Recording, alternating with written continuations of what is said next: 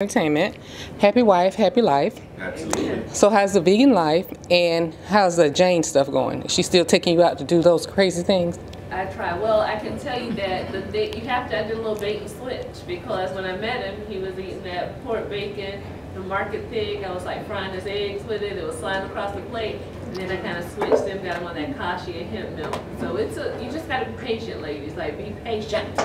Vegan life is good. So he woke up one morning like, babe, I'm vegan. I was like, say word. so Well, I just want to clarify that, like, this, this vegan, uh, veganism has been like a 12-year process for us, on and off. We've done it all, like, yeah, know, 10 since 07. yeah, about 12 years. And so, you know, two years ago, I decided again, because I fell off several times, that I'm done with meat forever.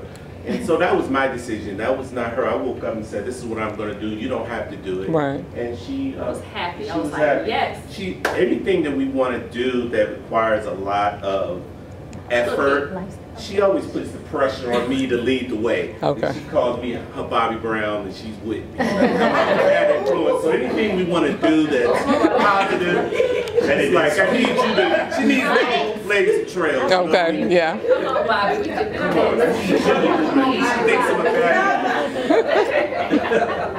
And one more thing has anybody met Oprah? Not yet. Not yet. We're hoping. Okay.